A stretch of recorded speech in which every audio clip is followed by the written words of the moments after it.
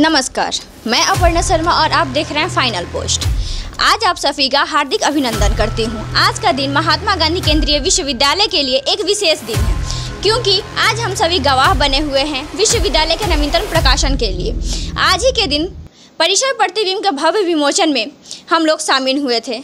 यह एक ऐसा मंच है, जहाँ हमारे सारे विद्यार्थियों की लेखनी को प्रोत्साहित किया गया और विश्वविद्यालय से जुड़ी खबरों को ई कॉपी के माध्यम से आम जनता तक पहुँचाने का प्रयास किया गया है।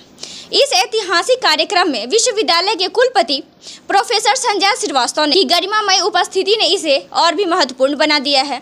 उन्होंने छात्रों की इस पहल की सराहना करते हुए विश्वविद्यालय की प्रगति और रचनात्मकता के लिए एक अद्भुत कदम बढ़ाया है। उन्होंने विश्वविद्यालय की ज़मीन से लेकर के सारी संरचनाओं तक अपनी बातों को रखा है। इस सफल कार्यक्रम के आयोजन को साकार करने में professor Anjani Kumar Jha doctor Shyam Nandar doctor Paramatma Kumar Mishra, doctor Sunil Deepak Ghodke, doctor Shefalika Mishra एवं अन्य प्रोफेसर भी मौजूद रहे।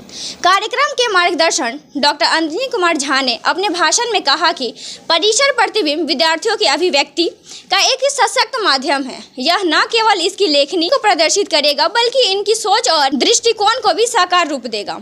इसके बाद डॉक्टर श्याम नंदन, जो कि उप संपादक की भूमिका में रहे, उन्होंने कहा कि हमारा उद्देश्य परिसर प्रतिबिंब न केवल विद्यार्थियों के लेखन कौशल को सामने लाए, बल्कि विश्वविद्यालय की खबरों को ई कॉपी के माध्यम से व्यापक स्तर पर पहुँचाए। बल्कि यह संपादक डॉक्टर परमात्मा कुमार मिश्रा ने अपने विचार साझा करते हुए कहा है कि रचनात्मकता समाज के विभिन्न हिस्सों तक पहुँचेगी, और यह हमारे विश्वविद्यालय के लिए गर्व की बात है।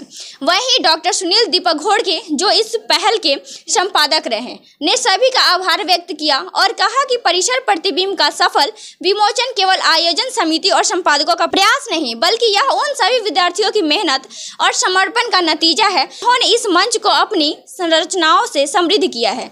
उन्होंने आगे सभी सहभागियों का धन्यवाद व्यक्त किया। इस आयोजन में मीडिया विभाग तथा अन्य कई विभागों के छात्र एवं छात्राएँ उपस्थित रहे। इसमें कई प्रोफेसर भी शामिल रहे। उन्होंने दिल से और सारे प्रोफेसर तथा छात्र छात्राओं का धन्यवाद किया। साथ ही साथ हमारे माननीय सांसद श्री राधा मोहन सिंह जी द्वारा आज ओपन जिम का उद्घाटन किया गया और उन्होंने यह भी कहा कि यह केवल प्रोफेसर के लिए ही नहीं, बल्कि यह छात्र छात्राओं के लिए भी खुली रहेंगी। और हमारे माननीय कुलपति महोदय ने यह भी कहा कि जितने भी हमारे भौतिक संसाधन हैं, वो हमारे बच्चों के लिए जल्द उपलब्ध कराए जाएँगे। महात्मा गांधी केंद्रीय विश्वविद्यालय के परिसर प्रतिबिंब की जल्द ही आपको कॉपी मिल जाएँगी तथा यह मोबाइल पर भी उपलब्ध हो जाएँगी, जिसे आप आसानी से पढ़ पाएँगे। इसके संपादक हमारे डॉक्टर सुनील दीपक घोड़के हैं, जिसमें अध्यक्षता कर रहे हैं हमारे डॉक्टर अंजनी कुमार झा हैं, डॉक्टर परमात्मा कुमार मिश्रा हैं, एवं अन्य भी प्रोफेसर हैं। इस पर आपकी क्या राय है, कमेंट में हमें ज़रूर बताएँ। धन्यवाद।